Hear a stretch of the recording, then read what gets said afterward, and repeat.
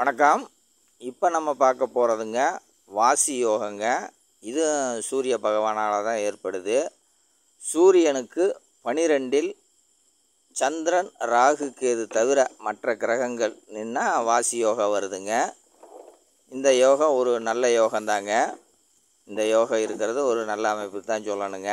செழிப்பாக இருக்கிறவராகவும் இருக்கலாம் பேச்சு திறமை இருக்கலாம் செல்வாக்கு மிக்கவராகவும் இருக்கலாம்.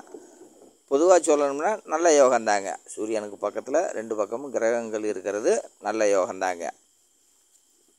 சூரியனுக்கு பனிரெண்டில் சந்திரன் ராகு கேது தவிர மற்ற கிரகங்கள் இருப்பின் வாசி யோகம். மீண்டும் சந்திப்போம். நன்றி வணக்கம்.